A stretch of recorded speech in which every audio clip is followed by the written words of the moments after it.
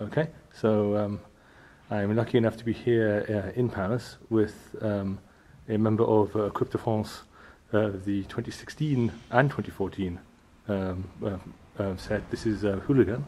So, can you introduce yourself?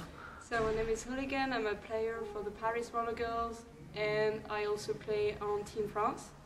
And this is the second time I make it to Team France. Okay. So, um, I guess we should start from the beginning then. So, you made it onto the 2014 Team France, and of course, Team France did pretty well actually. You only just missed out getting into the um, the top eight. Um, Yes. Fact, you were had the closest loss of any team that missed out against Argentina. Uh, so, I mean, how how was that as an experience? Your first international experience? Um, it was a great experience, obviously, to play at the best level. And I guess we were lucky to have this game against Argentina because people said it was one of the most interesting games in the sense that the scores were pretty close. It was quite a close game. And obviously, we were very disappointed about the loss, but uh, we'll do our best to do better next time. Yeah, I mean, um, so on the blog we did a a constructed ranking of because they didn't rank most of the teams, of Okay. course, properly, and we, we we put you provisionally eighth, ninth, so we think you probably were just about top eight, and you were just unlucky. So, who knows what will happen this time? So, of course, you applied again, and you you joined the team this time as well, and the team has quite a lot of um, Paris roller girls in it. I mean, it has a lot of Paris and Toulouse. Um, Yes, it's about 10 girls from Paris, 10 girls from Toulouse, and then girls from Lille, um, and then from other leagues in Mm. France, Amiens, and one from Nantes. But I mean, it's all French this time, I think, because last time I think there might have been a single person who wasn't from the French league, but this it's definitely all French this time, I think. Um, yes, well, two players are playing abroad, Mm. and these are Meryl uh, Stripper uh, from Philadelphia Ah. and uh, a girl from Montreal. Um, why so serious? Okay. So, um, have you had a chance to practice together? I mean, as a set, given yes, that you have. quite a few chances, in fact. Uh, we've been practicing every time we had bank holidays. We'd take advantage of this time to practice for a few days' time. So we've had uh, three-day trainings or four days tra- uh, four-day trainings. So I guess we practiced together um, four or five times already. Yeah. And um, obviously, you've, and you've already, of course, been dis- on display on a public in public bouts as well, because you were one of the teams that attended the European Roller Derby tournament not that long ago and triumphed quite convincingly, in fact. Um, so, I mean, was was that always your aim going in? Did you expect to do as well as you did, or? I think we were, yes. We had been training for this, and and that was the objective that we had set. We wanted to win the tournament, and um, and yeah, this was our first uh, tournament as a team, and we were quite happy of the result that we got. And um, of course, that set you up now for being a, and again for the upcoming tournament this weekend Yeah. in Wales, uh, the road to TBC, because we don't know where the tournament's going to be yet.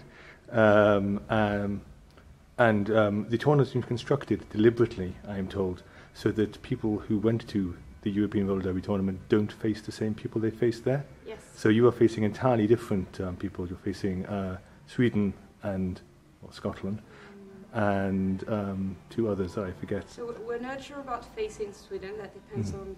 How Oh yes, you, well you may Yeah. face Sweden because Sweden. Exactly. Um, well, we we're hoping that could be the final game. Mhm. if we're doing really well. Um, but before this, we'll be playing uh, Team Spain, Team Scotland, and um, and one more. West Indies, I think. Is it West Yeah, Indies? West Indies. Yes. So I mean, so West Indies are an interesting team Yeah. Because, of course, a lot of them are from from UK teams Yeah. that, of course, because of the connection between the UK and with the West Indies. Um, so I mean, out of those teams, the only one you saw on track really before has been Spain because Yes. they were also at the European tournament. So is, are there any particular teams you're looking forward to playing, or Uh, worried about? looking forward to playing Team Scotland because that's a, a team that we don't know very much, and they've been doing quite well at the last World Cup. So we're hoping that will be an interesting game.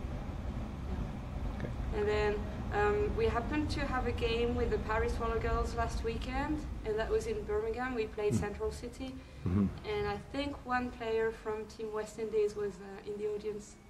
Um, her name is Vi- uh, Violet Attack. Yes, Violet Attack was there. I think she was scouting you guys. Yeah. Uh, All right.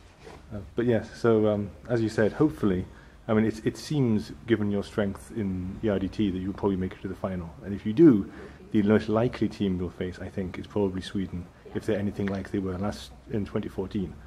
Uh, I mean, Stockholm are very strong, and, Mhm. and so are Crime City. So Yes, that would be quite a quite, uh, quite a challenge. Sorry. So we're, we're hoping we'll play them in the final game. and, But um, then it's a tournament, so you never know what to expect, and each game is going to be very important if we want to make it to the finals. So we'll keep that in mind. and so of course afterward TBC, there was of course the TBC, the tournament itself, the the big World Cup, um, which, well, we don't know where it's going to be yet.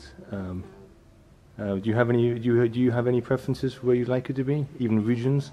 uh, of course, I'm hoping it will be in Europe, and um, I hope it won't be too far away. Too far away because um, I'm, a, I'm a teacher, so in real life I'm a teacher, and I can't get days off um, that easily. So every time I have to ask for days off, and then I have to teach some other times, you know, and get organized to play abroad. So I'm hoping it won't be too far away. And obviously, if it's in Australia or in the US again, that might be a problem for some girls. And Even uh, financially, that will represent um, a lot more than uh, a tournament in Europe. and um, of course there were there were also several new teams that we already know about. There's a Team Korea which looks terrifying. Okay. uh, have you seen the Team Korea roster? Well, I've seen a post about it, but I haven't really checked it. The um, the roster. like? Okay, imagine all of the Korean Americans you know, like shortstop from Okay. Gotham. Imagine they all got together and made a team. That's what it looks like. All right. So Team Korea are going to be terrifying. Yeah. Uh, there's also there's also Team Russia we know about, and of course Roller Derby Iceland are going to be turning up as Team Iceland, um, just changing their name a bit. Uh, I mean, um, I mean, does this, how do you feel about how big this tournament is going to be, and how much it's, it's you know extending outside of even of Europe now to Um, well, obviously, I'm very excited about this uh, next World Cup. Yes, I'm looking forward to it. and um, I guess now. So um, and of course, obviously after this time, of course, after the World Cup, you came back and tried out again. So what? So after this 2016 World Cup, do you have thoughts already about um, what's what's next? Mm, I'm not too sure. I think about it sometimes, and sometimes I think, well, I've been playing roller derby for about five, six years, and sometimes I'm getting tired of it, and sometimes I'm not. So it depends, I guess. It will depend on my state of mind after the World Cup. Um, but maybe I will just feel like moving on to something new, something different, and maybe dedicate more time to other hobbies or work. I don't know. We'll see. We'll see how it goes. And um, and I think a few girls who are on the team at the moment might be thinking about this.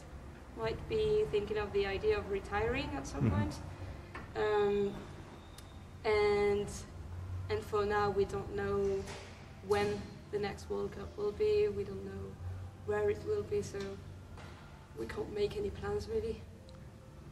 Okay, so uh, thank you very much and good luck in um, in Wales. Thank you. Cheers.